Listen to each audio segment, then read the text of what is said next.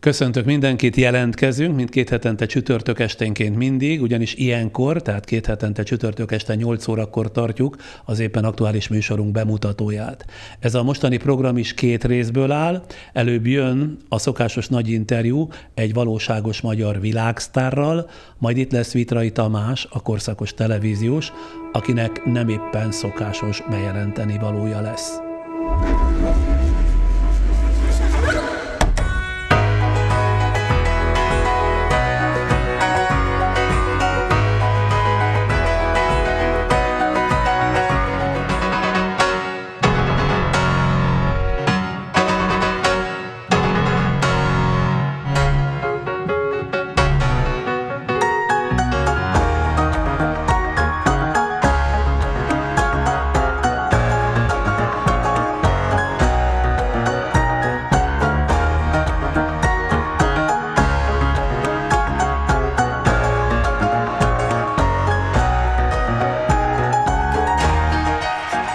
Hét évvel ezelőtt feltette a világhálóra Michael Jackson Bad című, ma már klasszikus világsikerének ördögi bravúrral előadott zongora átiratát, ami egyik napról a másikra sok millió ember által látott úgynevezett vírus videóvá lett, és ez alapvetően megváltoztatta életét és pályafutását.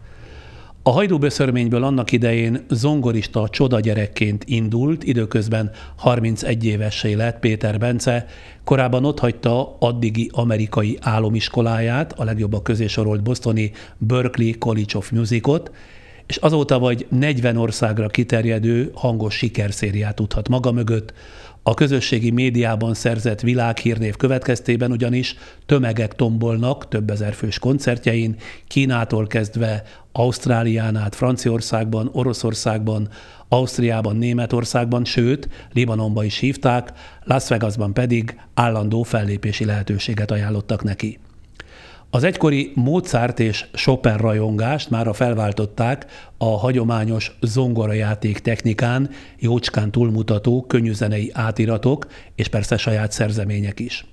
A páratlan technikai tudás és kreatív fantázia, ez a valóságos hangszer akrobatika, amire Péter Bence képes, különlegesen izgalmas produkciót hozott létre, amelyről május 26-i koncertjén meggyőződhetünk Budapesten is. Hogy ez az új magyar szórakoztatóipari világszám felfelévelő pályájának egyik állomása lesz-e, vagy egy a ki tudja még merre kanyarodó karrier egyik stációja, idővel kiderül.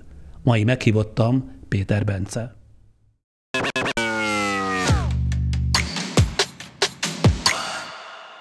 Kicsit zavarban vagyok. Ön zongora művész, ugye így kell bemutatni? Hivatalosan ez a megszólítási, tehát, illetve még zeneszerző is, de most ezen a vonalon elindulva akár mehetünk tovább, hogy most a zenei producerség, vagy, vagy hangmérnöki dolgok, tehát hogy itt rengeteg dolgot fel lehet sorolni. A világ számos pontján, ahol fellép, hogy szokták említeni? Zongorista zeneszerző zongorista Igen. zeneszerző, akkor itt is úgy fogjuk, jó? Köszönöm. Mindjárt jönnek a remélhetőleg izgalmas részletek, de előtte rövid áttekintést adok az ön esetében is nézőinknek, hallgatóinknak az eddigi életéből, rövid életrajz formájában. Tehát Péter Bence, Debrecenben született 1991-ben, 31 éves, apja testnevelő tanár, anyja tanító, másfél évesen emlékezetből lepötyögte egy rajzfilm zenéjét, négy évesen már felvették a Debreceni Zeneiskola előkészítőjébe, ahol Mozart és Chopin darabjainak hatására hét évesen saját szerzeményekkel állt elő, 13 évesen megjelentette első zongora CD-jét, 2006-tól a Debreceni Kodály Zoltán Zeneművészeti Szakközépiskola zongora szakán tanult, majd a bostoni Berkeley College of Musicban, amely a világ egyik legjelentősebb kortárs zeneművészetet oktató egyeteme, itt filmzeneszerzés és zongora szakra járt. A Berkeley-n három szemeszter alatt hat szemeszter anyagából vizsgázott, de Amerikából mégis hazajönni kényszerült, mert nem volt anyagi fedezete tanulmányai befejezéséhez.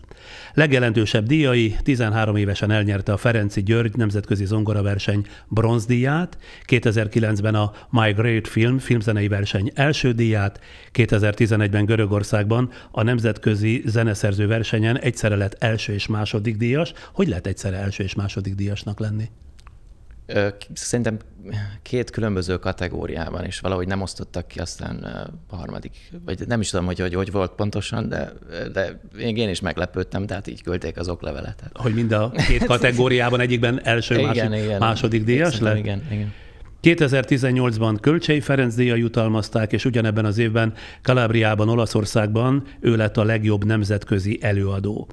2012. januárjában 20 évesen világrekordot döntött, amikor egy perc alatt 765 hangot szólaltatott meg egy zongorán.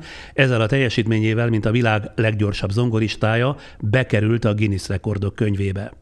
Egy huga van, aki jelenleg a Bécsi Egyetem angol száz irodalmak és kultúrák szakának mesterhallgatója, de korábban BA diplomát szerzett táncművészetből is a londoni Kingston Egyetemen. Péter Bence egyedülálló, angolul kiválóan beszél eddigi 31 évét körülbelül így lehetne összefoglalni. Jól össze van foglalva, igen. Köszönöm szépen. Akkor most 10 másodpercben bejelentkeznek támogatóink, és aztán már kezdjük is Péter Bencével. Mozizni nélküled? Na még mit nem? Ezt a podcastet a Nissan Qashqai e-Power is támogatta. Péter Bence, világhírű zongoraművész és zeneszerző a vendégem.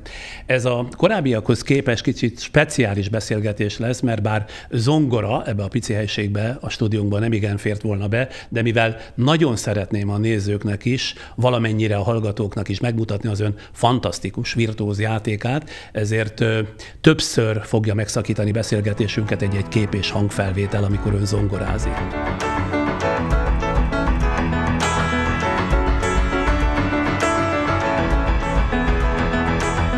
Hogy mindjárt az elején kezdjük. Az hogy volt, hogy nagyon kisgyerekként a nagymamája pianinóján lepötyögött, valamilyen tévében hallott motivumot, zenei motivumot, és ebből a szülei rögtön levonták a következtetést, hogy önnek zenei pályán a helye, így négy évesen már meg is kezdődhetett az ön zenei nevelése? Egy olyan kisgyereknél, tényleg most ilyen egy-két éves magamról van szó, alig aki alig tud még járkálni, de, de, de már próbál felnyúlni az zongora billentyűjehez, és, és hallás után visszajátszani valamit. Gondolom ez nem volt megszokott, és hát erre felkapták a fejüket a szüleim, és valószínű, hogy valami rajzfilmnek a zenéje lehetett, amit így próbáltam visszapötyögni a zongorán. És milyen sikerrel, mit mondanak az erre emlékező szülők? Utána próbáltak azon gondolkozni, hogy mi lehet az a legkorábbi életkor, amikor be tudnak engem iratni, zongorát tanulni, és hát szerintem öt éves lehettem, amikor így először így zeneiskolába kerültem. Az édesapjáról annyit tudunk, hogy ő gitározik, a nagymamája meg zongoraművésznek készült, de végül történelemtanár lett belőle. Ők valamennyire irányítgatták ezen a zenei pályán ott a kezdetekben? Igen, azért annyi jelentősége szerintem van, hogy egy olyan családban, ahol a zene legalább hobbi szinten mondjuk jelen van, de ha csak másért nem, de az ízlés formázása, nevelése egy, egy gyerek esetében szerintem ez rendkívül nagy hatással lehetett, és eleve az, hogy, hogy, hogy milyen zenéket hallgatnak, és nyilván ilyenkor a gyerek az forszírozva van, hogy ugyanazokat a zenéket hallgassa. Miket Tehát, hallgattak hát akkoriban? Nagyon sok mindent igényes nyilván az akkori igényesebb populáris zenék, meg nagy klasszikusokra gondolok, meg klasszikus zenét ugyan, ugyanannyira. Tehát, hogy volt egy ilyen nagyon széles paletta, ami, aminek én már elég korán ki voltam téve. És... Így vagy, hogy ki volt téve? Hát, Mintha egy valami inzultus lett volna. Nem, egyáltalán nem inzultus, de, de hát igen, ezek a behatások azért fontosak. De hogy a többi gyerek, ön is végigjárta mondjuk ezt a szokásos tűzoltó, autóversenyző, kukás autóvezető pályaválasztási kényszerpályát, vagy ezek fel sem merültek, mert ahogy mondja, négy évesen ön már kifejezetten elragadta a zenei imádata. Igen, ezeket pont nem egyébként, tehát hogy a, a, a tűzoltó meg ezek így teljesen kimaradtak, viszont voltak olyan, hát ilyen fellángolásoknak lehet mondani, érdeklődések, mint például a csillagászat, vagy akár volt olyan ötletem is, mit tudom én, ilyen négy-öt éves koromban, hogy orvos akarok lenni, de nyilván ezek csak ilyen ideiglenes fellángolások voltak. De az, az mindenki számára világos volt, hogy a gyerek zenész lesz.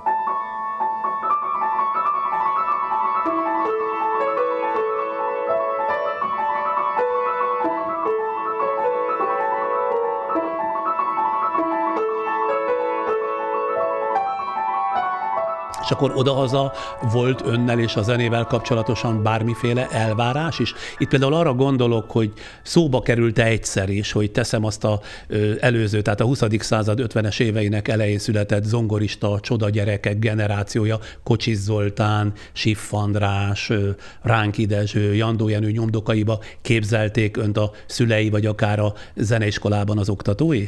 Hát igen, egyébként, mivel az ő zongorajátékokon is nőttem fel, és, és azért erről mindig eszembe jött az a vicces történet. Hát apukám ő nagyon ilyen versenyszellemű volt, ugye testnevelés tanár lévén, és emlékszem, talán volt is egy olyan alkalom, hogy valami jutalmat ajánlott fel, hogyha eljátszom Chopin perckeringőjét, ekkor voltam 7 éves, gyorsabban, mint Kocsis Zoltán. És akkor eh, muszáj volt megtanulnom gyorsabban a perckeringőt játszani. Nyilván, Miért volt cél az, hogy gyorsabban játsz el? Uh, valahogy ez a gyorsasági technika, ez nekem korán természetesen jött. Tehát, hogy nem igényel túl sok gyakorlás, valahogy gyorsan Észrevették, hogy gyorsan mozognak az ujjai, meg és, gyorsan is játszik. És, és, erre rájátszott szerintem apukám, és akkor pró- próbálta ezt így, ezt a tüzet így szíteni, hogy akkor, akkor kapsz ezt, meg azt, csak, csak játszak még gyorsabban. Akkor még úgy is volt ez az egész pálya így felvázolva előttem, hogy, hogy hát mi más lehetnék, mint egy klasszikus zongorista. Zongora tanulmányainak elején mennyire mutatott kiugró tehetséget? Úgy mondanám, hogy a, hogy a, a pálya legelején voltam a csúcson, és onnantól kezdve egy lejtőn lefele Most gördük. túloz, túloz, Bence. A, nem, egyébként tehát, hogy sokszor egyébként ezen el, elgondolkozom, hogy amikor zeneiskolába kerültem, azért a legtöbb diáktársam rengeteget gyakorolt azért, hogy, hogy hogy ugyanazt megcsinálja, ami nekem mondjuk otthon 5 perc gyakorlásba telt. És ez egy kicsit így voltak időszakok, amikor ez egy kicsit ellustított. Na de ezt most érvként mondja amellett, hogy kiugró tehetség volt, ezért könnyebben ment, vagy pedig pont ellenkezőleg, hogy olyan nagyon zeneiskolában még nem mutatott kiugró tehetséget? De szerintem akkor mutattam kiugró tehetséget, és most már nem. Ojjajajaj, ide akart kiukadni ezt a túlzást, na mindegy.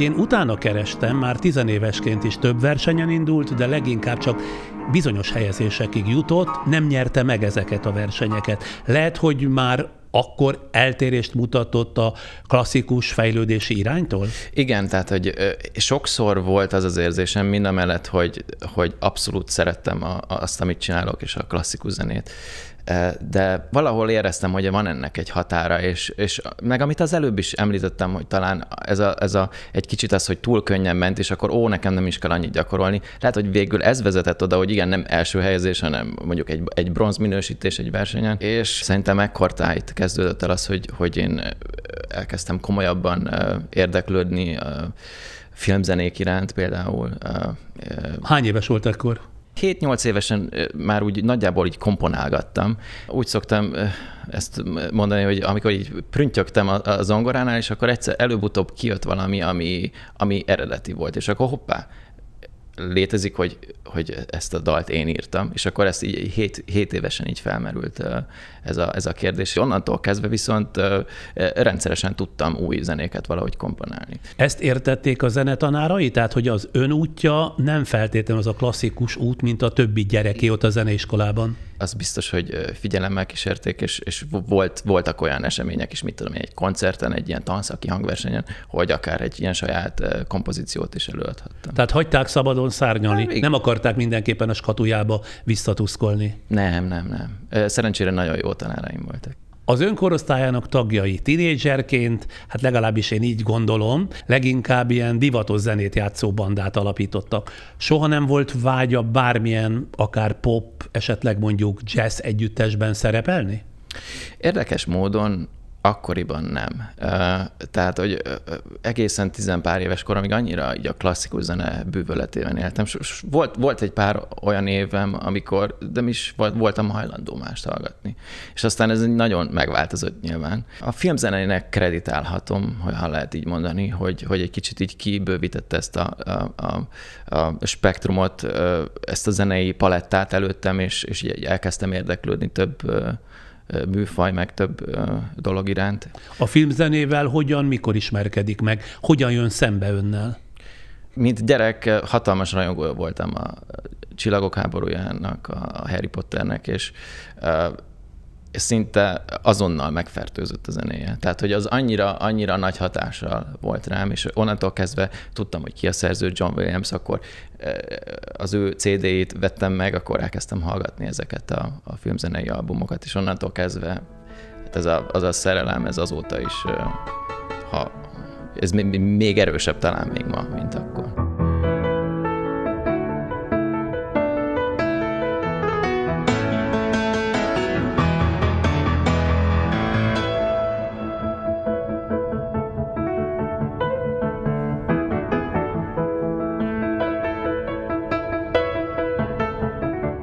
Azt mivel magyarázza, hogy 21 évesen Debrecenben sikeresen Guinness rekordot dönt, illetve állított, egyetlen perc alatt, hogy mondtam a bevezetőben, 765-ször ütött le egyetlen hangot a zongorán, amit azóta sem múlt felül senki a világon, ezzel Guinness rekorder lett. Bár ha jól vettem ki korábbi nyilatkozataiból, ezt a címet az utóbbi években mintha kisé röstelné, tehát nem nagyon szereti ezt emlegetni. Miért? Annak idején, amikor ezt csináltam, ez nem tudom, ez több mint tíz éve lehetett már, akkor annak megvolt a helye. Egyébként abszolút poénból készült ez a rekordkísérlet.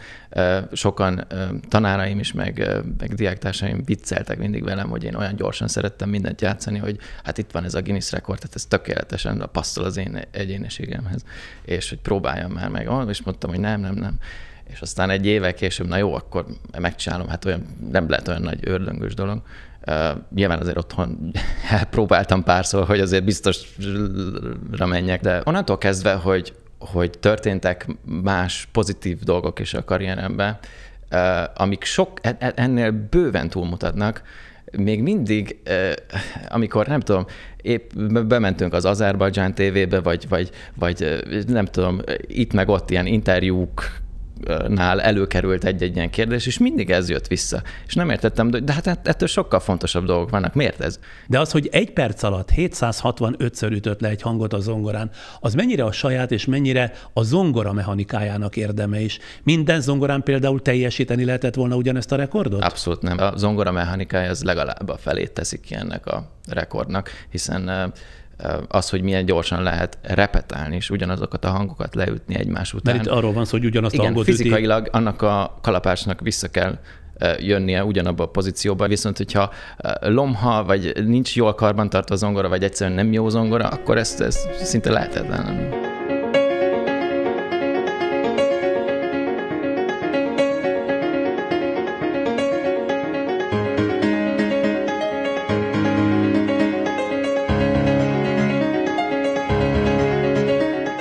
Mikor és hogyan merült fel, hogy nem Pesten a Zeneakadémián kellene tovább tanulnia a Debreceni Zenészak Középiskola után, hanem valahol egészen más út a nagyvilágban. A klasszikus zenével már annyira nem akartam egyetemi szinten foglalkozni, ez nagyon leredukálta annak a, a, a lehetőségeknek a, a, a palettáját, hogy hova lehet ezzel tovább menni, illetve az, hogy, hogy filmzenét hol tanítanak ilyen színvonalon, ez, ez, ez mind egy intézmény felé mutatott, ez pedig a Bostoni Berkeley College of Music. De honnan tudja, hogy egyáltalán ott van ilyen, vagy már amikor haladt előre a zenében, akkor azért nézegetett, hogy hol tudná ezt tovább képezni, vagy tovább fejleszteni? Persze nézegettem meg, akkor sokszor kiderült, hogy mondjuk Quincy Jones oda járt, vagy Ellen Silvestri filmzeneszerző, egy csomóan, akiket addig is tiszteltem és ismertem, hogy úristen, hát mindenki oda járt, hát akkor nincs más választás, nekem is oda kell jelentkeznem. Ráadásul a Berkeleynek annak idején, szerintem most is vannak ilyen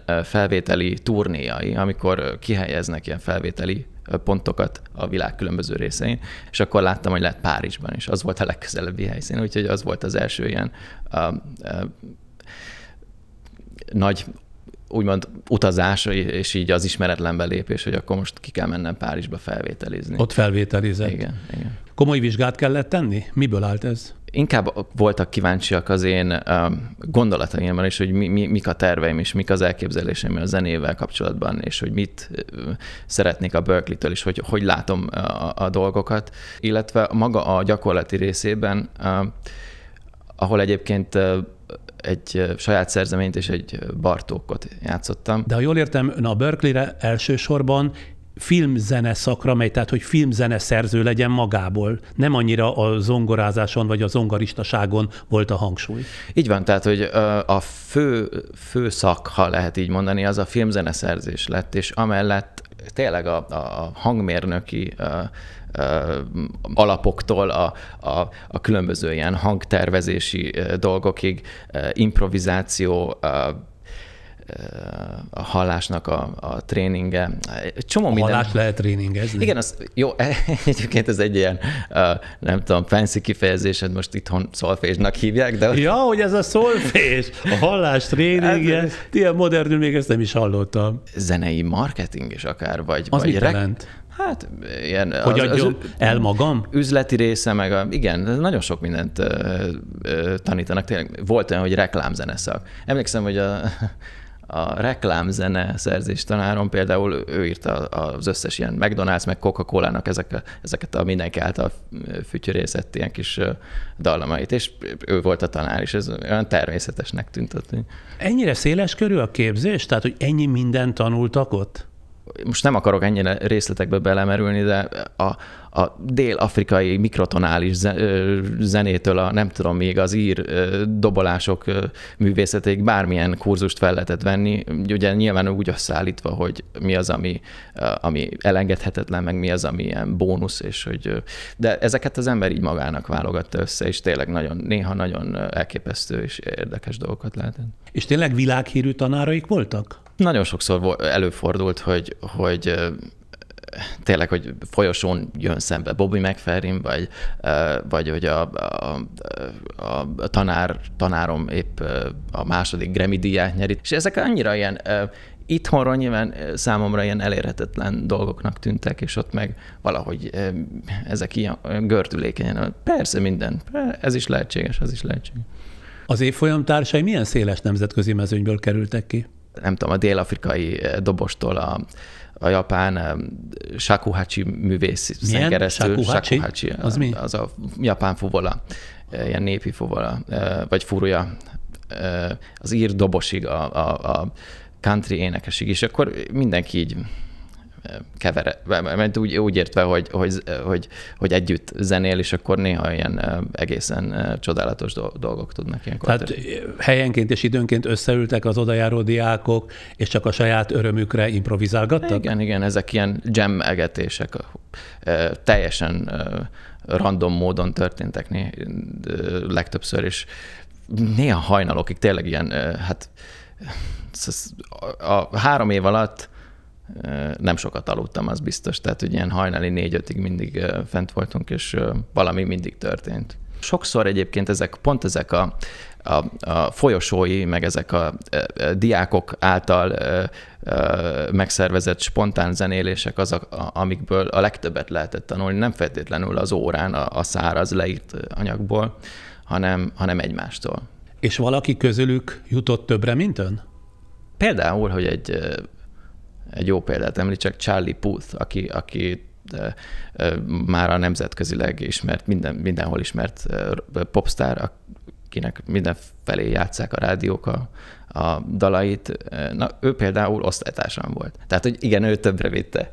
Többre vitte, mint ön? Hát ez nem hiszem. Önnek nem játszák a dalait, de világszerte hatalmas koncerteket tart, iszonyatos mennyiségű közönség előtt. Igen, de a, a, a popzene azért, tehát hogy az nyilván ez egy teljesen más volumenű közönséget ér el.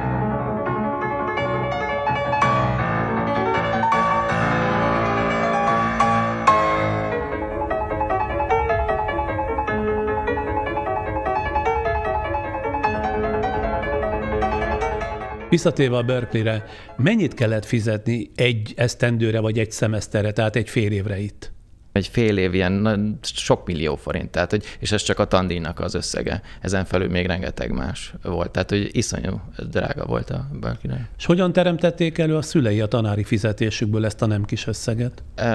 Volt szerencsére egy elég magas ösztöndíj, amit kaptam, legalábbis hát európaiak számára a legmagasabb kiadható ösztöndíj.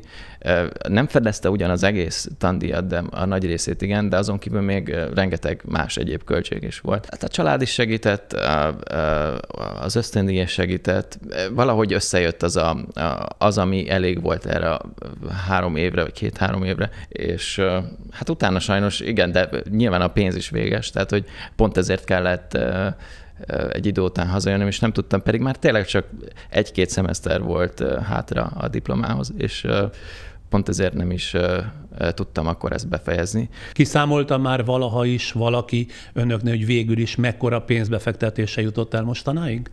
Visszamenőleg ilyen, ilyen részletekbe menően nem tudnám ezeket így meghatározni pénzben, viszont nagyon sok mindent mellőztem mondjuk az életemből, tehát hogy tényleg nem jártam soha nagyon szórakozni, meg nekem amúgy se volt ez egy annyira, meg alapból egy eléggé introvertált egyéniség vagyok, vagy voltam, csak a színpadon beletanultam a, az ellenkezőjébe. Tényleg? Hát Csak igen. a színpadon nyílik ki, ott érzi igazán magát abban a közegben otthonosan? Én azt gondolom, hogy bármit meg lehet tanulni az életben. Én megtanultam extrovertált lenni, ugyan egy limitált időegységre, de, de amúgy, amúgy meg tipikusan ilyen visszahúzódóbb típus voltam mindig is. Na most még Bostonra visszatérve, azt lehetett olvasni, hogy ott kimagasló tehetségnek tartották, sőt, ahogy erről olvastam, amikor egyik szerzeményét például eljátszotta, a világhírű zongoratanára közölte, hogy ő bizony nem tud mit tanítani önnek, és kiment a teremből. Mi az, amit kifejezetten ennek ellenére megtanult a hangszeren, tehát magán a zongorán ott?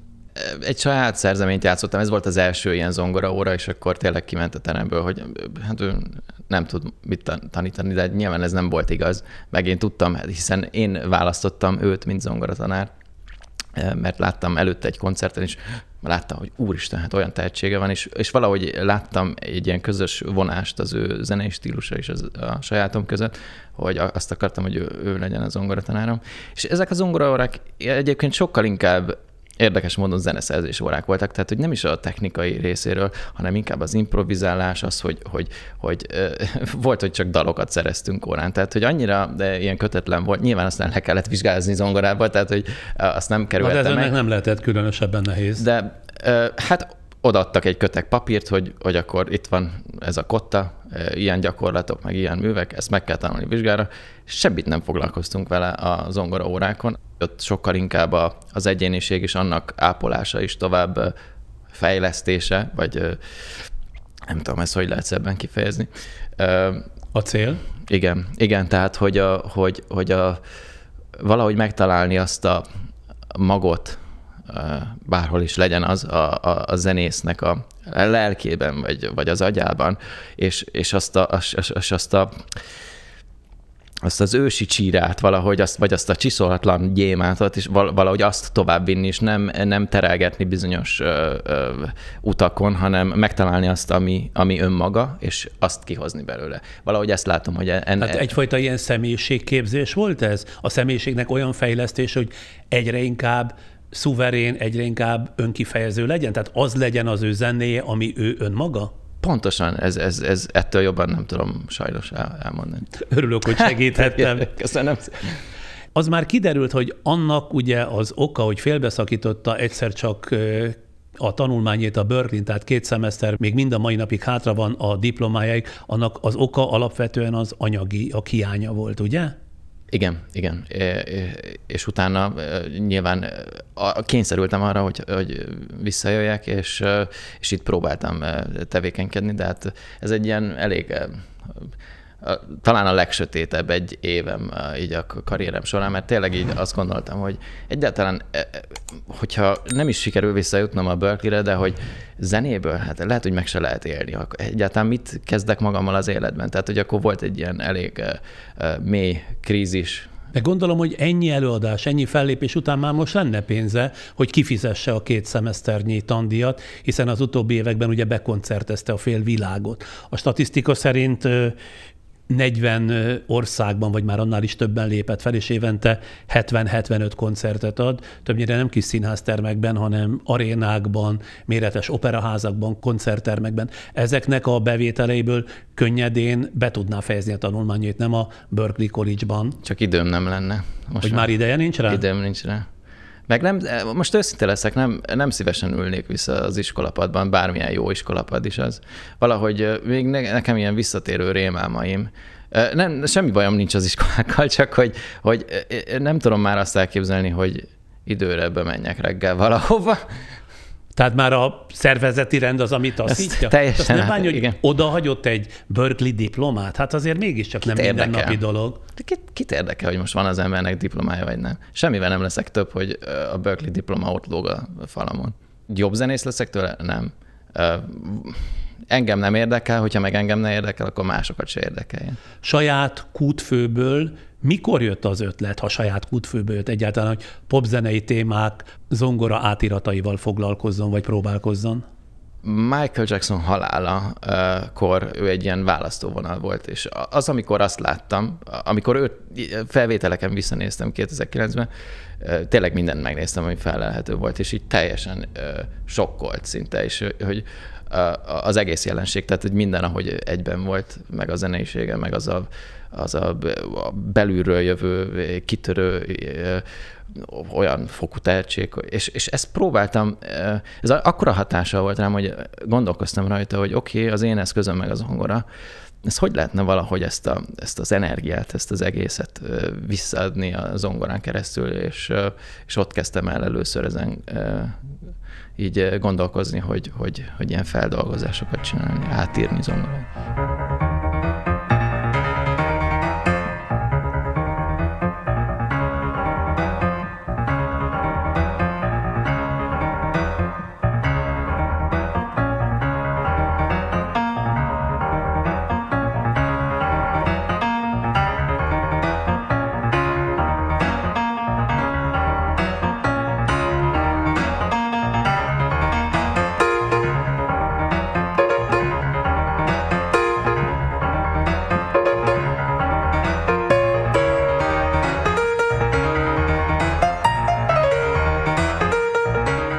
Az eredeti célja? Be akarta bizonyítani, hogy a popzene, a slágerek legalább olyan hatásosan megszólaltathatók a zongorán, mint maguk az eredeti művek?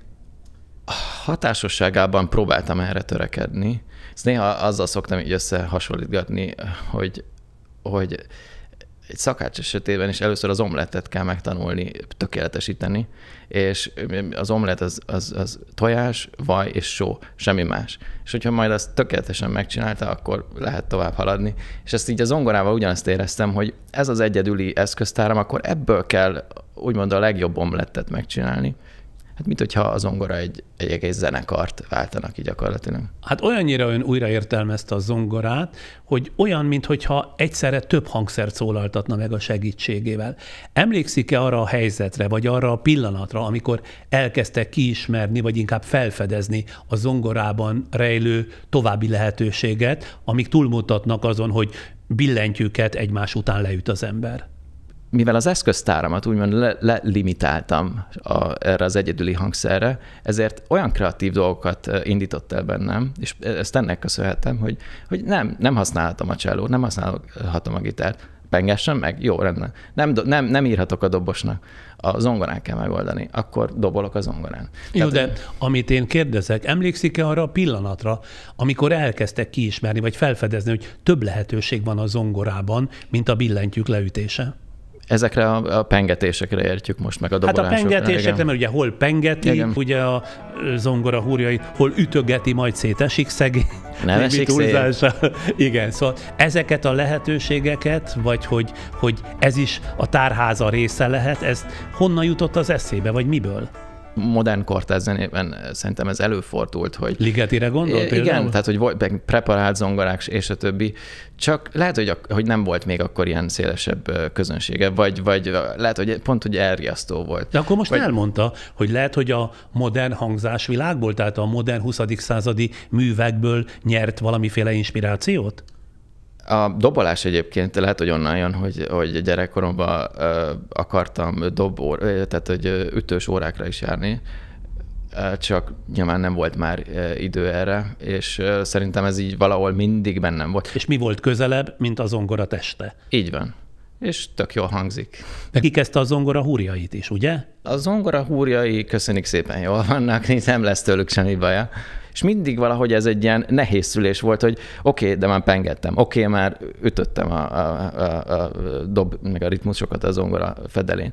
Hova lehet még menni? És akkor onnan érkeztem meg oda végül is, hogy, hogy akkor kezdjünk el egy kicsit belenyúlni hangtechnikailag, tehát hogy akkor, akkor van, vannak effektek, tök jól szoktam otthon keverni, akkor próbáljuk ki a, a torzított gitáreffektet, próbáljuk ki ezt meg azt is, akkor Tényleg az hogy éri el, hogy olyan hangja legyen a zongorájának, mint egy elektromos gitárnak? rém egyszerű. Ö, be kell kapcsolni azt az effektet, ami átalakítja az elektromos gitárra. Tehát, hogy tényleg Tehát a zongora hangját átalakítja gitár hangra? Igen, tehát, hogy Van nyilván- ilyen effekt? be kell mikrofonozni a zongorát, vannak ilyen külön effekt pedálok, vagy effekt, effekt processzorok, és akkor azt a hangot veszi alapul, és azt betorzítja. Igen.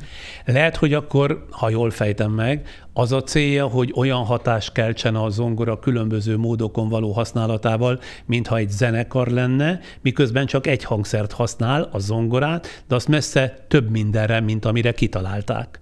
Lehet, hogy ez annak is köszönhető az, az én viszonyom a szimfonikus zenével, meg az, hogy mennyire szeretem a filmzenét, és hogy filmzen, filmzenéket írni, vagy, vagy, vagy egyszerűen csak zenéket írni nagy zenekarra, és igazából innen jön az egész, hogy, hogy hogy hogy tudom ezeket, hogy tudom ezeket a hangszereket imitálni a zongorán. Hány hangszer fejeződik ki tulajdonképpen az önjátékában, amit mind a zongorából vagy a zongorával idéz elő?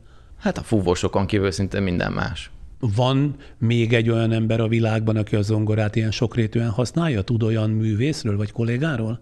nem követek nagyon sok mindent, pont azért, mert uh, uh, annyira így a saját buborékomban vagyok néha így benne, hogy nem, nem vagyok képes lépést tartani. De nem tud olyanról, aki önt másolná, vagy akit ön másolna. Hát e, azóta, mióta ezt csinálom, fő, főleg a, ugye most 2017, ami, ami, amióta ezekkel a loopokkal oldom meg ezeket a dolgokat, egyre több ilyen videót látok. Most nem, ezzel nem azt akarom mondani, hogy a spanyol viaszt találtam fel, mert nem, sőt a loopolás az létezett előtte, a gitárosok nagyon sokan csinálták, a énekesek is csinálták.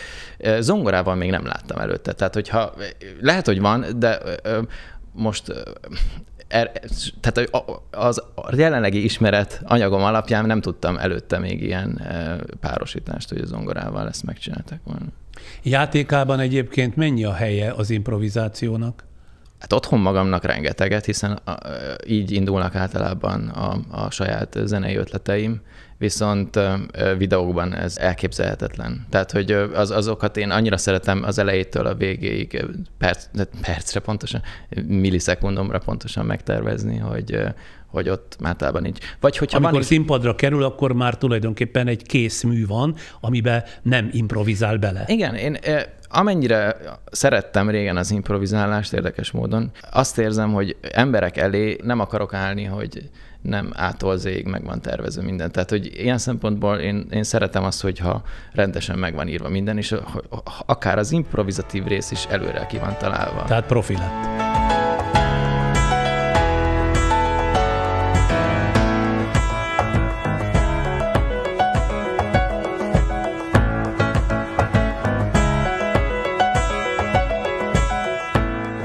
Közben mire gondol a zongorista?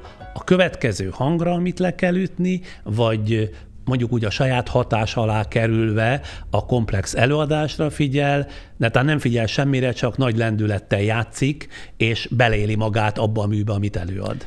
A, talán a legjobb eset, amikor igen nagy lendület, és, és, és tényleg elfelejtem, hogy akár, hogy hol vagyok, mit csinálok, és hogy van, van olyan, hogy már-már szinte ilyen medit, meditatív állapottal vetekszik, hogy annyira ki tud üresedni a, a gondolatok és a, az elme, hogy csak a végén veszem észre, hogy ja, vége van, és hogy a színpadon voltam, izommemóriában benne van már minden, hogy ha hajnali négykor felkelek, akkor is ugyanazokat ugyanúgy meg. Na jó, hogy mondta ezt az izommemóriát, mert ez egy sajátos kifejezés. Ahogy figyeltem a felvételeit, olyan átéléssel és olyan fizikai erővel játszik, tehát ha úgy tetszik, akkor annyira mozog, hogy egész testét beveti, az merült fel bennem, hogy nincs-e önben például egy koncert után nagy izomláz, vagy fizikailag olyan edzet, hogy ez soha meg sem kottyan? Az elején még nagyon sok ilyen volt, és egy kicsit meg is ijesztett, hogy egy-egy koncert után legalábbis a másnap, de ilyen nagyon rottyon éreztem magam, tehát hogy mit, hogyha meg klipforgatások után is ilyen teljesen ilyen fizikailag fáradtan, tehát hogy mint hogyha ah, semmi nem jó.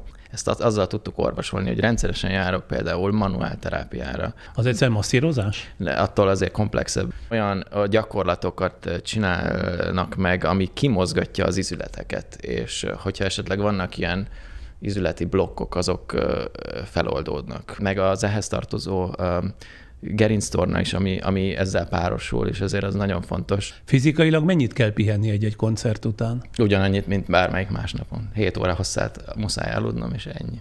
És mennyit kell gyakorolnia, hogy ilyen virtuóz módon játszon az ember? Legtöbbször elmondható, hogy, hogy egy nap a két órától a 20 óráig bármi előfordulhat. Tehát Van olyan nap, amikor 20 órát hát, gyakorol? Előfordult már jó párszor.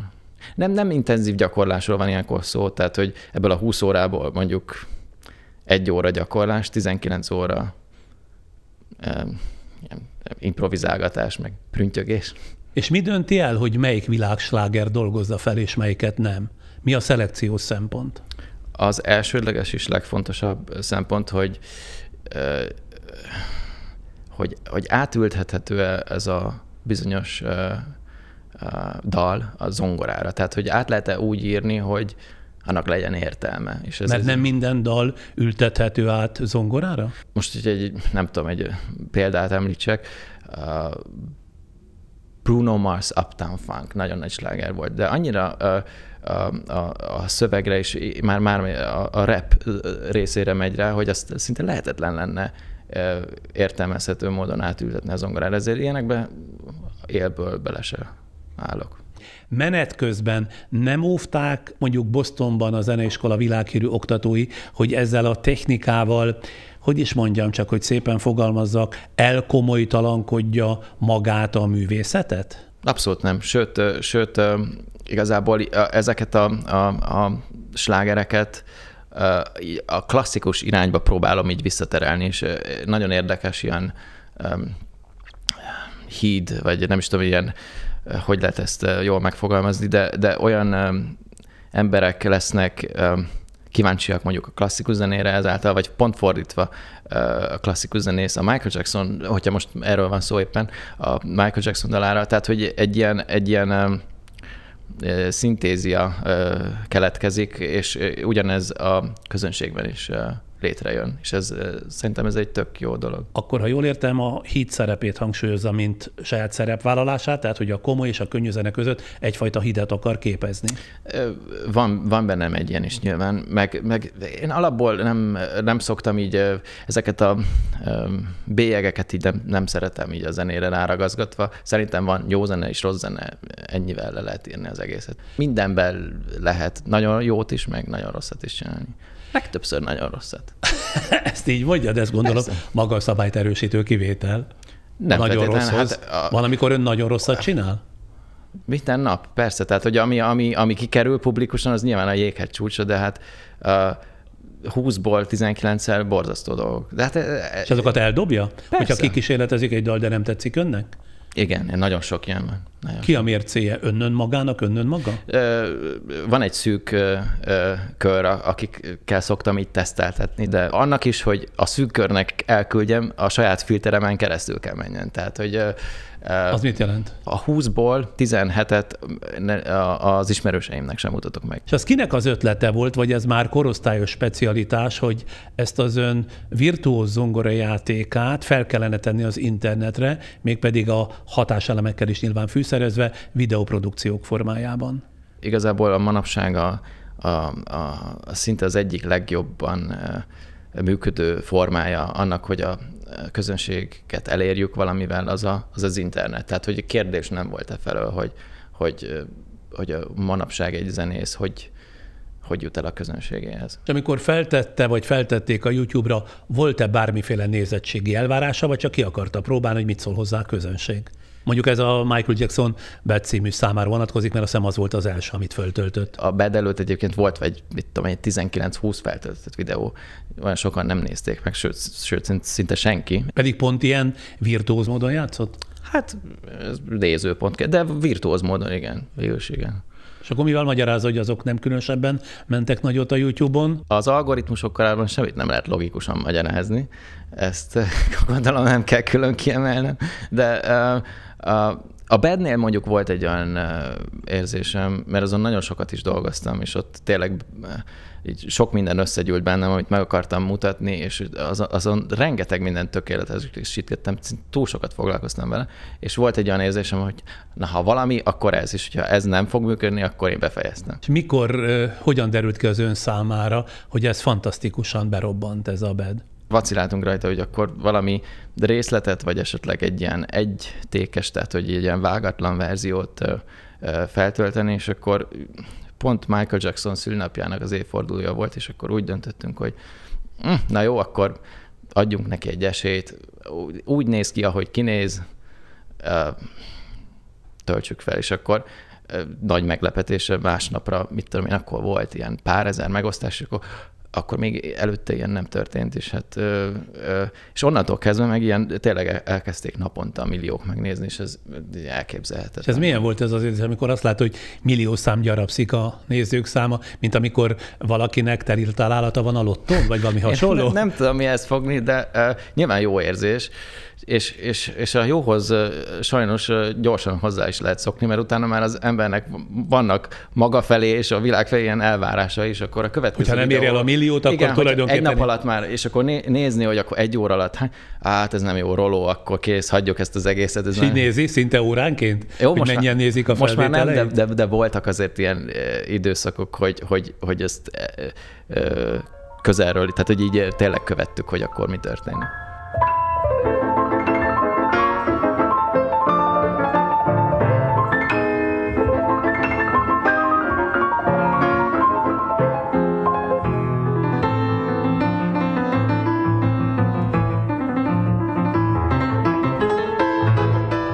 De most már, ha jól tudom, a YouTube csatornáján csak a feliratkozók száma is egy millió fölött van. Igen, YouTube-on egy millió fölött, Facebookon van talán ott több, ott két, és az a baj, hogy már olyan régen, régen ez nagyon érdekelt, és most már, most már egyre kevésbé, úgyhogy ez majd Ez mivel magyarázható, hogy egyszer csak nem olyan lázasan nézi az eredményeket? Hát azért a bevételeinek egy része, vagy talán jelentős része épp a YouTube-ból származik, a YouTube hát, nézőkből, nem? Elenyésző, azért a koncertekkel tudnak szerintem manapság, ez bárki zené, zenész meg tudná erősíteni, hogy azért a jelentős bevételi forrás az, az a turnékból származik. Hozzászokott a nagy számokhoz?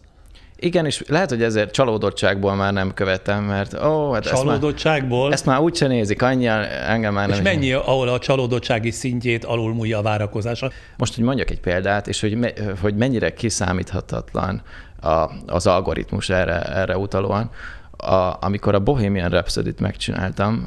A Quintől? Igen gondoltam, hogy hát ebbe is annyi, legalább annyi időt és munkát öltem, mint a, a bedbe, hogy akkor hát, ha ez lesz a következő ilyen sikervideó, és emlékszem, hogy 2021 november, vagy nem tudom, mikor töltöttük fel, és hát nagyon, nagyon gyér volt, tehát, hogy ó, ezért volt ez a sok munka.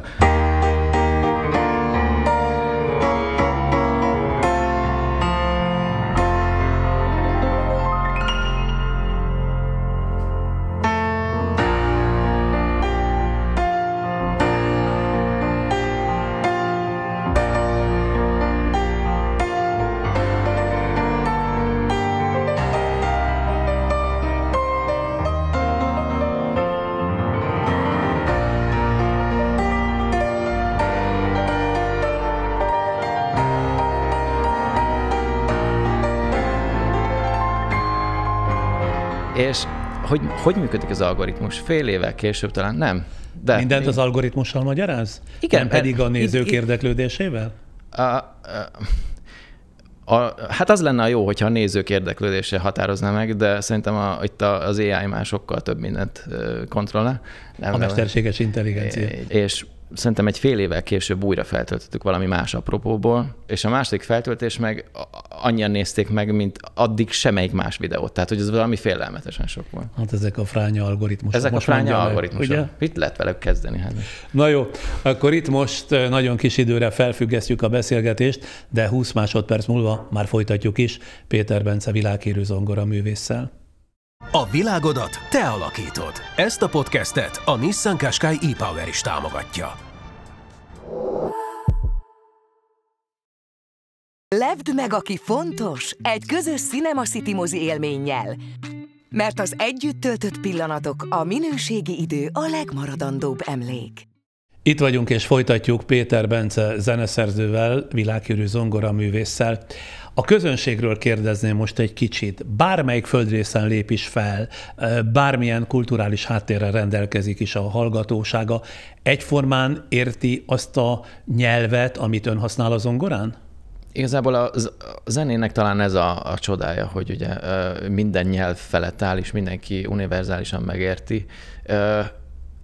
Ennek ellenére nyilván a közönség is lehet változó, tehát hogy azért lehet, hogy bizonyos illemrendszer szerint, vagy az, hogy milyen vérmérsékletűek, de... de például bármely földrészen lép is föl, olyan van, hogy pontot tapsolnak közbe, mert ön beszél is, ugye, vagy igen, pontot igen. nevetnek, ahol éppen az a poén van, vagy ebben is vannak különbségek? Általában elmondható, hogy, hogy ez, ez így igaz.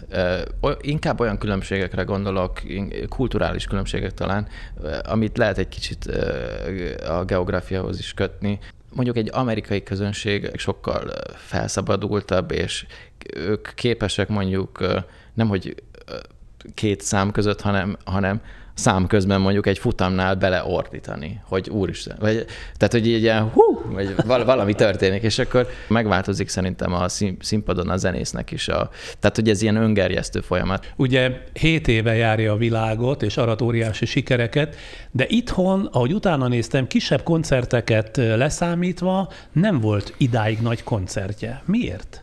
Így alakult valahogy az évek során az élet, hogy valahogy külföldön jobban működött ez az egész. Inkább arra lehet egyébként visszavezetni, hogy talán nem találtuk meg a megfelelő partnert ehhez.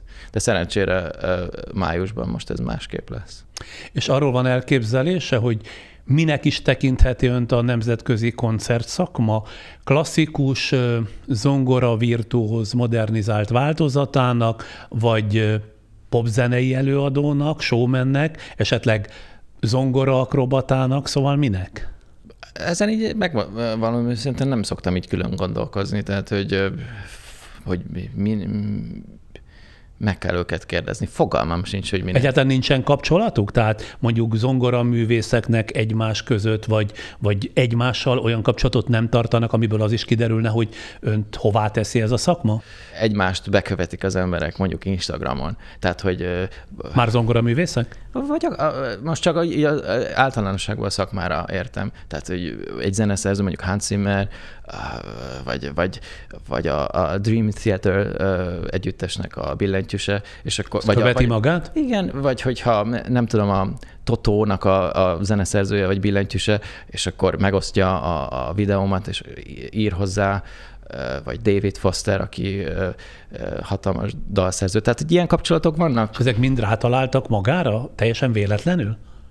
Hát ezt nem tudom, hogy hogy, mert erről nem beszéltünk. Na, de, de nem igen. ön kereste meg őket nem, az, nem, hogy nem, itt nem, vagyok, hanem nem. egyszer csak láttam mondjuk igen. a Facebook vagy az Instagram oldalán, hogy ezek mind-mind bekövették. Igen, igen, igen. Nyilván örülnek az ember, főleg, hogyha, hogyha olyanokról van szó, akit, akit amúgy is nagyra tisztelek.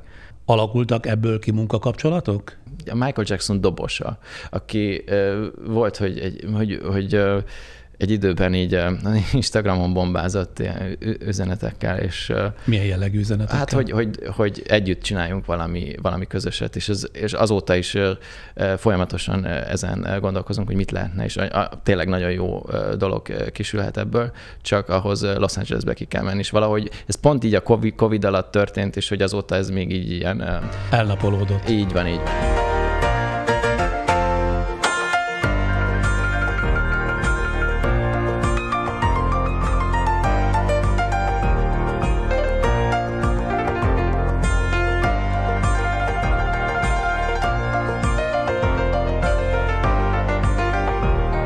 És ön kihez hasonlítja magát szívesebben? A hagyományos értelemben vett zongoraművészekhez, aki történetesen mondjuk populáris darabot ad elő, vagy inkább egy top kategóriás pop előadóhoz, aki különféle hang, fény és egyéb látványelemekkel teli produkciójával a lehető legmagasabb szinten akar szórakoztatni? Hogyha most muszáj, akkor, akkor a, valahol a kettő között ilyen átmenet. Ugyanúgy, ahogy a, a zenei stílus is meghatározható, a, valahol a, a klasszikus és a, a, a populárisabb köz, között félúton, nem tudom. Egy fél mondattal már említette, de azért szeretném ezt egészen konkrétan hallani, hogy voltak éppen miért fordult le a klasszikus zongorázásról? Azért, mert az túl unalmasnak találta, hogy ott a szerző megírta, azt elő lehet különböző módokon adni, de hogy abban nem volt annyi fantázia? Így ez nem merült fel bennem, mint lehetséges opció nem láttam úgy különösebb értelmét. Azt viszont tudtam, hogy, hogy, a, hogy a klasszikus repertoár előadására 5000 másik zongora sokkal jobban képes. Zongora? Zongorista. zongorista. Egy korábbi interjúban valahogy úgy fogalmazott, hogy mi értelme eljátszani olyan műveket, amelyeket nálam tehetségesebb előadó művészek sokkal jobban csinálnak. Amit az imént mondott, ezt jelenti? Tehát nyílt bevallása annak, hogy klasszikus zongoristának nem lett volna olyan kiemelkedő ön? Szerintem lehet, hogy másoknak ez más véleménye lenne, akár a családi körömben is, de én ezt úgy gondolom, hogy nem, én nem, nem lennék annyira kiemelkedő. Vagyis hát, hogyha, hogyha tudok zenét szerezni, az nekem az fontosabb, mint az, hogy hogy kottából eljátszak valamit, amit tudom, hogy biztosan valaki jobban el tud játszani. Na most a világsikerek átírása mellett gyakran úgy konferálják föl, meg erről már szó volt a beszélgetés egy korábbi szakaszában, mint komponista zeneszerzőnek, tehát komponistának van olyan kimagasló, mint zongoristának? Hát ezt szerintem magam még nem tudom megítélni ehhez. Lehet, hogy sok évnek még el kell telni, hogy ez így ki kristályosodjon egy kicsit jobban. Nekem a zongora előadó művészet az, az egy inkarnációja az én zeneszerzői mi voltomnak. Tehát, hogy én nem, nem érzem azt, hogy, hogy hogy igazából egy, egy zongora művész lennék. Sokkal inkább a zeneszerző, aki, aki előadja a, a, a gondolatait zongorán. Ez egyúttal azt is jelenti, hogy inkább a zeneszerzést ambicionálja, mint a zongora játékot? Igen, igen. Hány saját szerzeménye van, és azok milyen műfajban születtek, mint zeneszerzőnek? Hát soha nem számoltam meg. Szerintem több száz, ilyen 80-90 százalékban befejezett mű, és ami százszerzelékosan, az meg mondjuk néhány tucat. Van olyan, ami csak az zongorára született, például az legutóbbi albumom, és néhány ilyen szám. Hát ezekből a... már albumok is Pe- vannak? I- igen, meg koncerteken is szoktam saját szerzeményt játszani is. Például most uh, éppen szimfonikus zenekarra hangszerelek saját művet, tehát ugye változó. Ez azt jelenti, hogy saját művet akkor szimfonikus zenekarral együtt fog előadni? Igen, igen. Van, hogy egy kicsit ilyet csinálok, egy kicsit olyan. A többféle műfajban adnak, igen, ez azt igen. jelenti. Igen? Igen.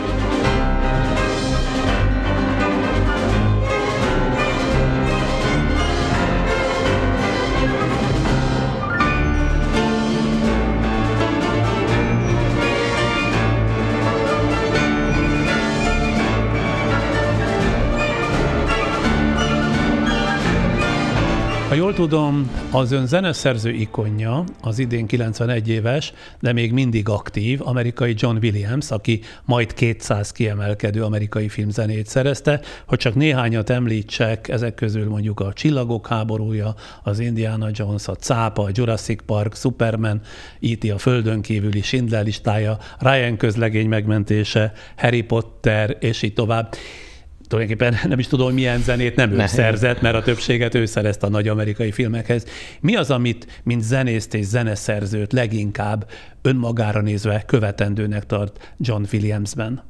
az ő komplexitása és a, a, a, az hangszerelése a nagy zenekarra, és a textúrák használata, a különböző motivumoknak a felépítése, a, dallamalko- a dallamalkotása, ami szinte páratlan, és olyan hihetetlen dallamok, amiket mindenki ismer és tud dúdolni. Tehát, hogy nekem eh, úgy alapjában véve ez az, ami, ami, ami összepárosíthatatlan bármi mással. De miután nagyon sok interjút megnéztem vele, meg sikerült egy párszor találkozni is vele. az Hányszor hogy, találkoztak? ö, Háromszor. És ezt ön kezdeményezte? Közös ismer, ismerettség alapján. Tehát valaki összehozta koncert önöket. után egy találkozás, egy kis beszélgetés, ilyesmi.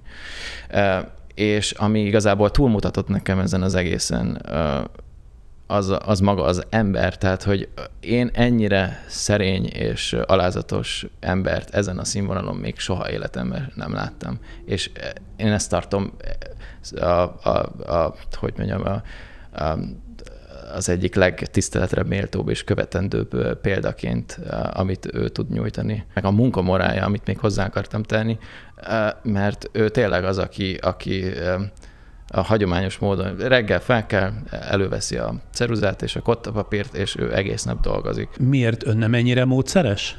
Lehet, hogy ezt egy pszichológus most meg tudnám mondani, hogy ADHD, hogy, hogy szerteágazik a figyelmem sokszor, meg megtöri valami, és akkor így nehéz visszazökkenni az adott munkafolyamatban. És, és sokszor ez ilyen gátakat szab nekem, hogy, hogy valamit így nullától százig be tudjak fejezni, és sokszor elakadnak dolgok. Nincs például egy napi ülöm. programja? Tehát, hogy beosztja, hogy reggel ezt csinálom, ettől eddig délben ezt, nem? De van, de hát azokat az első öt percben felrugom valami mással. Tehát, hogyha Nem kérdezte meg John Williams, hogy ezt hogy csinálja? Nem, de ez, ez lehet a következő kérdésem majd. Mert ugyanis azt akartam tulajdonképpen az előző kérdésemmel megtudni, hogy a zenei fantázia mindenkinek annyi, amennyi nyilván fejleszthető, tehát az ember sokat hallgat, meg sok mindenre odafigyel, meg egyéb hatások is érik, akkor valószínűleg azért az is fejleszthető, de szerintem a zeneszerzői tehetség az nem másolható, nem koppintható, hanem az mindenkinek annyi, amennyit a jó Isten adott neki, nem? Egyébként néha szokott olyan dolgokon járni az eszem, hogy mint zeneszerző valaki nem tud teljesen a, semmiből létrehozni valamit, az mindig a, a mögötte lévő zeneszerző ősöknek a, a nyomain, vagy a sok, sok minden másból összetevődően jön létre valami, valami szintézis, és akkor ez lehet, hogy új, újnak hat, de igazából benne vannak az elemei ebből a zenéből, ebből a zeneszerzőből, ebből a korból, tehát hogy összetevődik. És így néha így gondolkozok, csak ez így nagyon fura kísérletnek tűnhet, hogy mi lenne, hogyha mondjuk ha nem tudom, genetika alapján meg lehetne állítani, állapítani valakiről, hogy zene, zenében nagyon tehetséges lesz, és mondjuk zeneszerző lehetne belőle. És, és a, a, a gyerekkora során valahogy izolálni, hogy soha ne halljon semmilyen zenét. És úgy nőni fel, hogy, hogy teljesen izolálva volt ettől a, tehát hogy semmilyen behatás nem érhette. Mi a kísérlet tárgya? Az, hogy, hogyha mit tudom, egy 18 évesen, 20 évesen hangszer kerülne a kezébe, akkor mi történne? Mi kerülne a fehér lapra, amikor semmi zenét nem hallott előtte? Ezt azzal együtt mondja, hogy azt mondja, hogy zenei tehetséggel született az illető, Igen. de izolálva van, és mondjuk 20 éves koráig semmilyen zenét nem engednek hallani neki? Igen, mert, mert, mert engem is, és, és másokat is, tehát hogy befolyása alatt vagyok minden annak, amit, amit, amit zeneiskolában tanultam, amit utána, minden, ami a rádióból szól, ami, mindennek a, az összege, vagy az egyvelege, az, ami, ami aztán az emberből kijön. És mire mutatna ez a kísérlet? Hát az, Tehát hogy, az, mit hogy tudna meg ettől? Nyilván a zenében mindenki azt próbálja keresni, hogy hogy lehet valami újat létrehozni. És hogy van-e egy tiszta tehetség? Igen, igen, és hogy az hogy szól, az hogy szól egy üres papíron.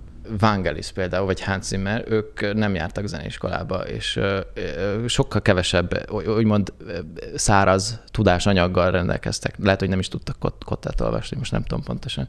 És mégis tudtak, tehát, hogy valami olyan tör fel a tehetség útján belőlük, ami, ami tehát utat, utat tör az a tehetség, és valahogy úgy fejezi ki magát, ami, ami, amire nem volt befolyással az a sok minden, és valami eredeti születik. És, ezért... és maga erre vágyna inkább? Tehát jobban szeretné mondjuk azt a Péter Bencét, aki originális, tehát eredeti? Néha van olyan, amikor, amikor próbálok komponálni, hogy, és, és idegesít, hogy, hogy, hogy olyan dolgokra áll rá a kezem, akár olyan harmóniákra, vagy olyan ö, ö, mintákra, amiket ismerek valahonnan. Tehát, hogy, hogy az igen, ezt már hallottuk valahol, és hogy, hogy egyszerűen megtalálni azt, ami teljesen újnak ö, hat, ami újnak hangzik, ilyen, ilyen ebben a közegben így ilyen nagyon, nagyon nehéz. Nem azt mondom, hogy ez, ez baj, mert sok esetben Persze, meg, nem az. Én most csak érdekességképp mondtam, hogy mi lett volna, ha, vagy mi lenne, ha. De ha jól látom, a zeneszerzői ambíciói most egy időre félre vannak téve a nagy zongora konjunktúrában, ugye? Hát mondhatjuk így, igen, mert ez, ez, ez, ez a zongorával élés, és az a, a, a, ezek a, a koncert, koncertek, ezek azért teljesen más irányba vitték a, a karrieremet. A színpadi formája ennek az egésznek az, hogy a közönségnek ezeket meg tudom mutatni, és van egy ilyen interakció. Ez ráadásul tudja motiválni azért az embert, hogy, hogy több ilyet csináljon.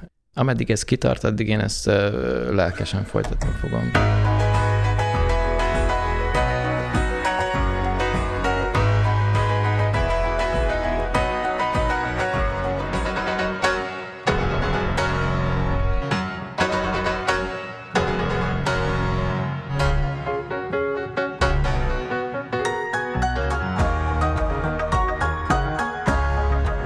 Világszerte minden földrészen föllép, tehát van úgy, hogy egyik nap, nem tudom én, Dél-Koreában, hogy néztem a műsornaptárát, aztán valahol itt Európában, vagy megint egy távoli földrészen.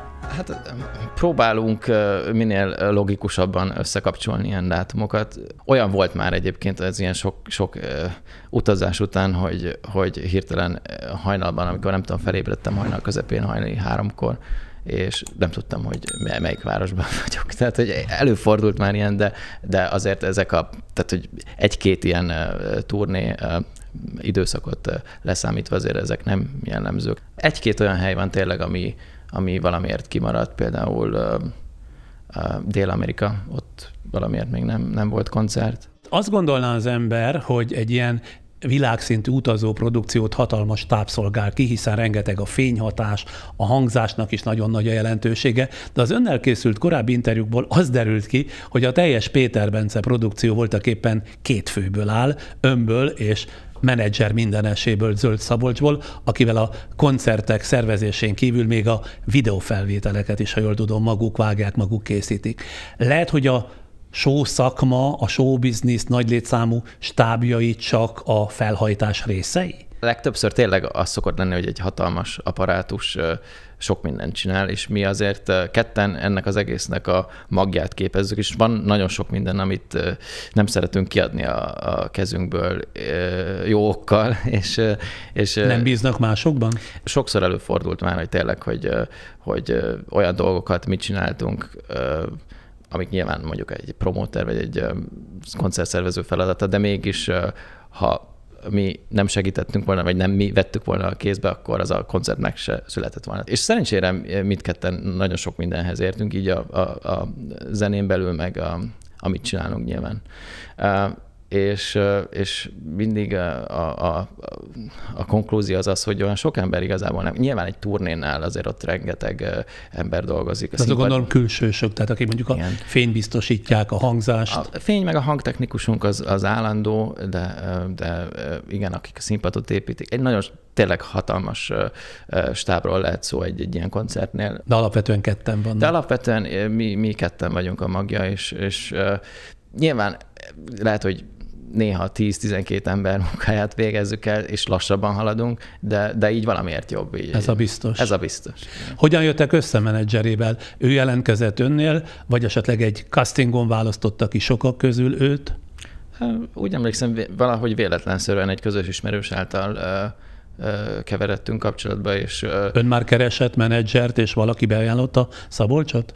Az elején még erről szó sem volt, hogy, hogy, hogy ilyen menedzser, meg. tehát hogy egyszerűen csak arról volt szó, hogy, hogy van, van ez a projekt, hogy, hogy akkor videókat csinálni, és akkor elkezdeni egy kicsit így építgetni ezt a zongora produkciós dolgot, és ez minden így kezdett így magától kialakulni, és, és ezt az ösvényt így, így végül így tapostuk, és nem, nem egy meglévő minta mentén haladtunk. Mibe szólhat bele menedzsere és mindenese, és mibe nem? Mindenbe beleszólhat. Mindenbe? de, de egyébként inkább ez egy ilyen mellérendelt szerep, tiszteljük egymás véleményét. Nyilván, hogyha valamit nem akarok csinálni, vagy az, az utolsó nem, vagy az igen, az lehet az enyém, azt a jogot még fenntartom, de, de, de mindent ától zég megbeszélünk, és, és tök jól működik ez a kapcsolat így. És szakmai mestere nincs is, aki fejleszti, motiválja a zongorajátékát? Nem, érdekes módon nincs pedig tudom, hogy ez, ez akár lehetne normális is, hogy, hogy legyen egy Hát ilyen... erre nincs szükséglet ennek? Valahogy úgy alakult idáig az élet, hogy, hogy lehet, hogy nem találtam meg a megfelelő embert, vagy valahogy Keresett nem... egyáltalán? Nem, nem, nem. Maga biztos abban, amit csinál, hogyha nem tart igényt külső kontrollra. Lehet így is mondani. Hogyha ez magabiztosság, akkor, akkor ezzel egyetértetek. Nem érzem azt, hogy hogy különösebb szüksége lenne. Az önhöz hasonló előadó művészek mindig nagy hangsúlyt fektetnek arra, hogy a magánéleti eseményeikkel is megfelelően ellátott legyen a média. Örül e tekintetben nem lehet olvasni semmit. Kerüli ezt szándékosan? Hogyha lenne kérdés, akkor kerülném, de szerencsére nincs ilyen kérdés. És akkor így nem is beszél róla És soha. nem is beszélek róla. Szülei miként viszonyulnak sorsának alakulásához? Lelkesek nagyon egyébként mindent követnek, és sokszor még olyan dolgokat is hamarabb tudnak, mint amit én. Én úgy látom, hogy, hogy azért büszkék meg, amit talán amit még jobban szeretnek, az amikor hazajövök, és én főzök, mert akkor általában én, én kell, hogy főzzek a családnak. Életvitelszerűen ugye még mindig hajdúböszörményben él, tehát ha hazajön, akkor oda megy haza. Azért, mert ragaszkodik a megszokott környezethez, vagy ott kapja a legkomplexebb kiszolgálást az életviteléhez? Hát egyrészt olyan keveset vagyok itthon, hogy a, a, az a nyüzsgés és pörgés, ami ezt a turnét körülveszi, azután az a nagy kontraszt, hogy itthon egy kisvárosban a semmi nem történés, az, az annyira jól esik így erre visszajönni. Főleg az, hogyha most megnézzük egy, egy ilyen napi ritmusomat, hogy felkelek, megiszom a kávémat, leülök egy, egy-két órát prüntjögök, aztán ebédet főzök, aztán délután valamit megpróbálok komponálni, vagy keverni, és akkor aztán vacsorát főzök, és el is telt a nap. Tehát, hogy ehhez ki se kell mozdulnom, és tök mindegy, hogy igazából, hogy hol vagyok többször visszautalt rá a beszélgetés során is, hogy szeret főzni, tehát a konyhában sem nyeretlen két éves magyarán, és még arra is ügyel, ha jól tudom, hogy nem csak, hogy főzzön mindenféle jókat, hanem hogy esztétikus legyen az ön által készített ételek tálalása is. Hogy tekint a főzésre, mint kikapcsolódásra, amely amolyan ö, relaxációs kiegészítő tevékenysége? Abszolút kikapcsolódásként indult, és csak egy idő után annyira komolyan vettem, néha még helyenként komolyabban is, mint a zenét. Azt vettem észre, hogy, hogy, hogy? Azt vettem észre, hogy, hogy most nem tudom, az omlet eseténél maradva, hogy, hogy két héten keresztül folyamatosan megcsinálom minden nap, és, és addig, amíg tökéletes nem lesz. Majd hogy egy nem... azonos ételt két héten át minden nap lefőz, Igen. Mert csak az vagy egy... ízre, vagy kinézete nem stimmel, nem? Így van, így van. Ugyanez mondjuk egy pizzánál, vagy nem tudom, vagy, főleg inkább olasz dolgokban vagyok jobban, vagy gyártas, ilyen olasz konyhában, és képes vagyok tényleg nap mint nap ugyanazt megcsinálni, csak azért, hogy... hogy De minden nap megeszi a sikerületlen változatot is? Hát muszáj, de a tökéletességre törekszem így is, tehát hogy néha tényleg, és ezzel most nem, nem akartam túlozni, hogy nagyon komoly, béresen komolyan tudom menni.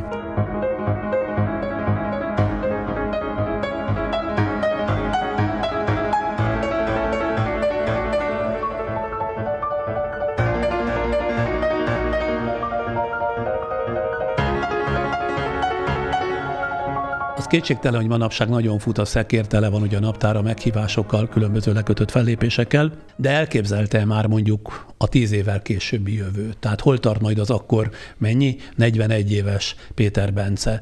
Az éppen aktuális popzene átiratokkal járja majd a világot, és fogadja a vele korosodó rajongók ovációját, vagy netán, idézőjelben megkomolyodva, Mozartot, Chopin, Bartókot ad elő a világ nevesebb koncertpódiumain. Az utóbbit nehezen tudom elképzelni.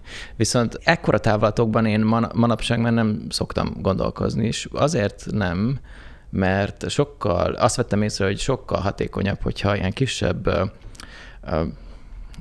Időegységekben? Igen, kisebb időegységekre osztjuk. Lehet azt mondani, hogy, hogy nekem ez a célom tíz év múlva, de a, az esélyek arra, hogy pont úgy lesz, az szinte nulla. Egyébként legjobban a, a hegymászáshoz tudnám hasonlítani, hogy kinézem magamnak a hegycsúcsot, hogy oda szeretnék feljutni, és lehet, hogy régen görcsösen majd, túráztam volna egészen addig, amíg fel nem jutok a hegycsúcsra, viszont ma ezt úgy átértékeltem egy kicsit, és ma már úgy gondolom, hogy és mi van, ha a felénél találok egy másik ösvényt, ami szimpatikusabb, elmegyek jobbra, és ott egy gyönyörű vízesést találok. Tehát, hogy ezt nem akarom ezeket a lehetőségeket elvenni magamtól, hogy egy kicsit az élet is tudjon másfelé sodorni, és ezért nem ragaszkodom görcsösen egy, egy képhez, ami, ami tíz év múlva lennék, mondjuk.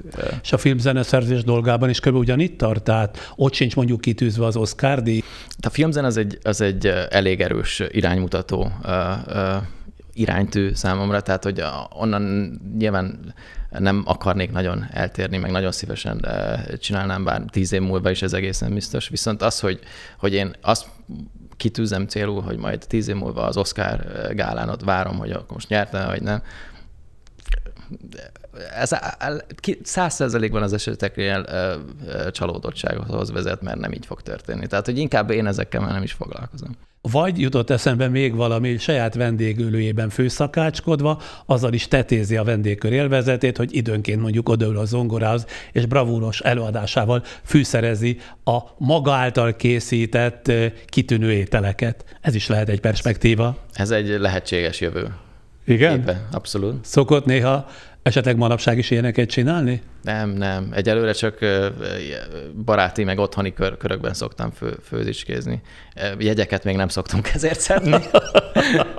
Na jó, örülök, hogy találkoztunk. A május 26-i Pesti koncertjére pedig, ahogy tudom, gyorsan fogynak a jegyek, tehát e tekintetben jó helyzetben van. Jó lesz közelről is látni önt, meg itt és most megismerni. Egy tulajdonképpen azt kell, hogy mondjam a beszélgetés végén, virtuózitásához képest meglehetősen szerény fiatalembert, művészt, akinek életre szólóan sok sikert kívánok, feltéve, hogy nem babonás. Nem. Nem babonás? Nem. Hát akkor sok sikert önnek. Nagyon szépen köszönöm.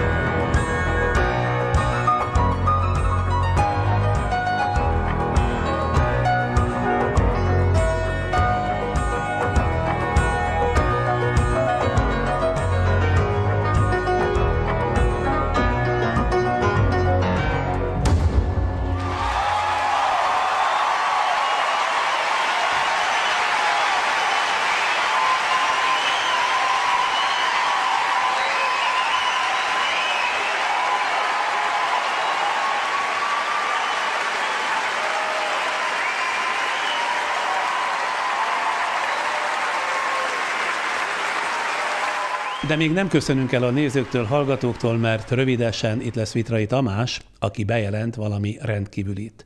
Tíz másodpercben, most azonban még támogatóink jönnek. Annyira szeretlek, hogy ehetsz a popcornomból. Ezt a podcastet a Nissan Qashqai e-Power is támogatta. És akkor már is itt van Vitrai Tamás, akivel ezen keretek között körülbelül másfél éve, 2021. november elején találkoztunk, és akkor hosszabban beszélgetünk. Most azonban azért jött, mert bejelenteni valója van, noha ebből némi ízelítőt, előzetest a nézők a héten már láthattak, ha rendszeresen követik csatornánk tartalmát. Miről van szó?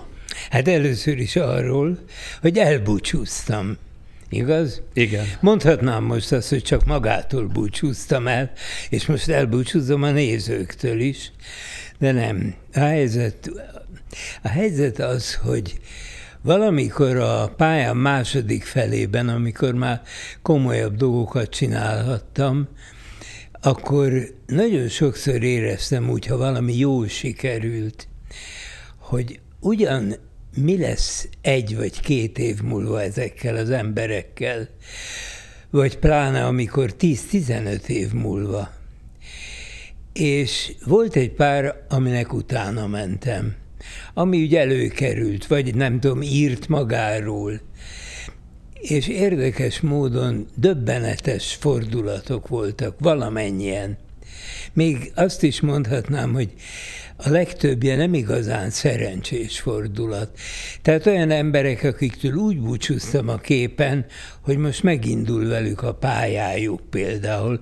Ott van például az az artista pár, akik szerepeltek a műsoromban, fiatal artisták, gyári munkás volt a lány, és valamilyen szakmája volt a fiúnak is, és fantasztikus jó légtornászok voltak, amatőrök. De az adás után őket kiszemelték, cirkuszok, külföldre kerültek, és eltökélt szándékom volt, hogy a nyomukba eredek egy pár évvel később. Megtörtént, és hát nem mondom el, mert hosszú is lenne, meg nem erről beszélgetünk, gondolom, szomorú vége lett a dolognak. És ilyen már előfordult másik is, harmadik is. Mit ad Isten? Itt búcsúztam el, nem is, nagyon kedvemre valóan, mert még mulatságos volt is a vége, emlékszik, hogy azt mondtam, hogy de lehet, hogy majd száz évesen betotyogok, és majd fogatlan szájból motyogok valamit, és maga azt mondta, hogy én ezt kívánom és én mondtam, hogy én nem. Illetve én azt tettem hozzá, hogy szerintem fölösleges dolog búcsúzkodni, mert ki tudja, mit hoz az élet. Ezt szerintem nem mondtam. Nem mondtam? Akkor ezt gondoltam. az igen, az lehet. Annak nem tudok utána kúszni. Na jó, és nem sokkal később rende, szembe jött velem, mondhatnám, megint egy ilyen eset. 28 évvel ezelőtt kezdődött. És nem mondom el a történetet, mert nem szeretném, mert azt akarom, hogy várakozás előzze meg majd a filmet. Röviden azt tudom mondani, hogy eltökéltem magam, hogy saját pénzből, tehát saját kockázatomra nincs vagyonom, de mondjuk úgy próbálom megcsinálni, hogy mindent, amit lehet, magam csináljak, amit meg nem, baráti körből toboroztam, és így meglett a film. Azt sem mondja el, hogy kiről szól nem, ez a film? Nem, nem, nem, nem. Tehát holnapig ez legyen titok? Hát a adásig igen, aztán kiderül. Azt szeretném, ha sokan néznék, egyrészt, másrészt azt szeretném, ha nem mondanák öt perc után, hogy jaj, ez ne, ez unalmas. Nézzék nyugodtan, innen üzenem, minden csak nem unalmas. Ezt tanúsíthatom, mert én már láttam, abban a szerencsés helyzetben vagyok. Nekünk kitüntetés, hogy éppen a mi csatornánkat választotta a filmje bemutatására, de azért azt hadd kérdezzem meg, hogyha 28 éve, ugye azt mondta, ennek a filmnek az előzményeit már a magyar televízióban látni lehetett, akkor miért nem bízta most is a film folytatását a magyar televízióra? A magyar televízió nem vesz rólam tudomást. Ez a rövid válaszom. Tehát nem volt miért, nem volt kihez, hova. Én úgy gondoltam, hogy ha ők nem vesznek rólam tudomást, az egyetlen lehetséges válaszom, hogy viszonzom.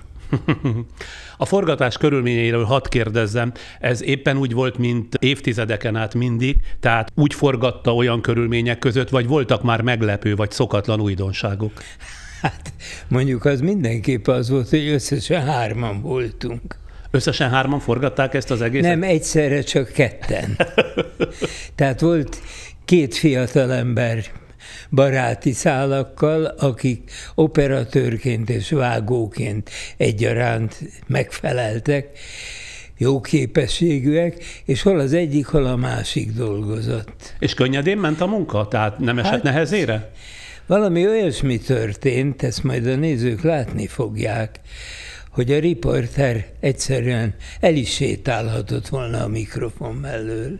Mert? Mert, mert, mert olyan magától ment az egész. Na de utána meg kellett vágni, utána kellett egy dramaturgiát jó, hát, adni a az munka meg volt vele. De a, a, az élet nagyon, egy tekintettel voltak a koromra. Végül is 91. éves vagyok, nagyon rohangálni nem tudtam volna. De hihetetlen öröm volt dolgozni. Napi hány órát forgatott? Kétszer forgattunk egy-egy teljes napot, és kétszer alkalmilag egy-egy eseményt még hozzá, tehát négy forgatási nap.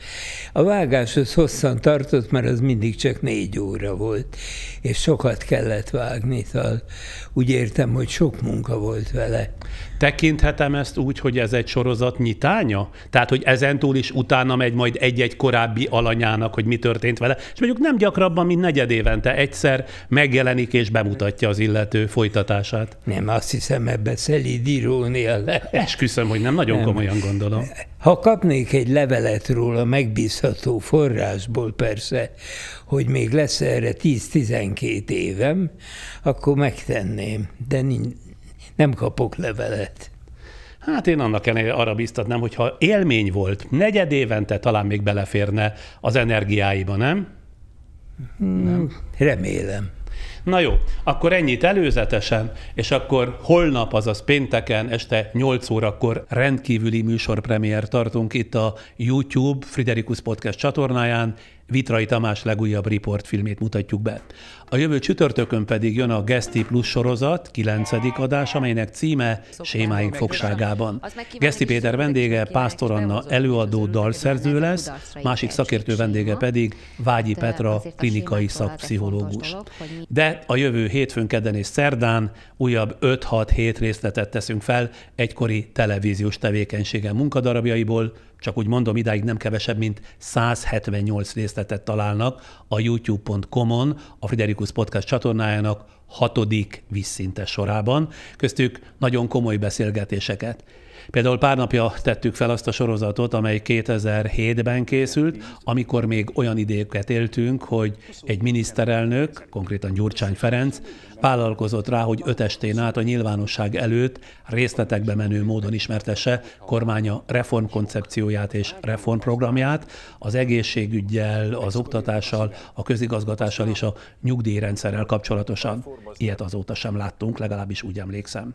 De ha annak idején elmulasztották, most megnézhetik azt a nagyon komolyan vett fantázia játékunkat, amelyben szakértőkkel beszéltük meg, hogy az érzelmek és indulatok mentén ketté lehetne választani Magyarországot közigazgatási, gazdasági, nemzetközi jogi és kulturális szempontból elképzelhető lenne ez.